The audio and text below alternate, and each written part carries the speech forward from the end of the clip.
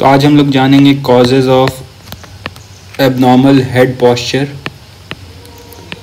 कि abnormal head posture किन किन कंडीशंस में हमें देखने को मिल सकता है।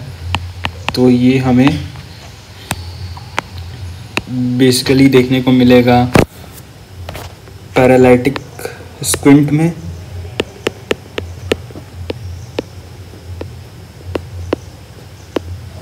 और सीवियर डोसेस में।